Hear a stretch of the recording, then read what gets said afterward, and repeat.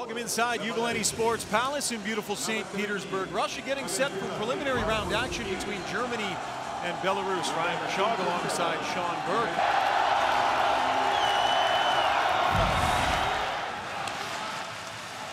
Low shot scores! Germany, a 1-0 lead. Chance here for Germany, and there's Draisaitl. He's on the ice now. 2-0 Germany. Just Gogulla throws it on net. Rebound, they score! That didn't take long. Felix Schutz was there to collect the rebound. Thrown across ice now. Here's a chance for the speedy Platt. In. Platt fires it off the side of the net. And a glorious chance for Belarus to get on the board.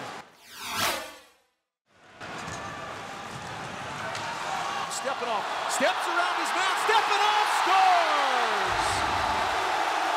Oh, what a goal by Andrei Stepanov. And Belarus needed that.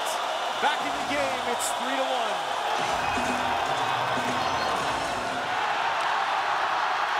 Here's Belarus looking for more. Across the line, into the glove. Rebound is there. Another chance right in front. And just throwing it up over the net was Alexander Kitarov. Gets it back to the line. Royale to Macek. Winds it, fire, scores!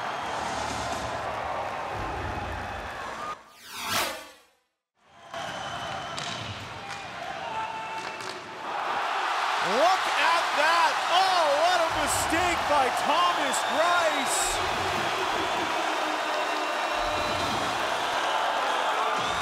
Dukov steps around one man, dumps it in.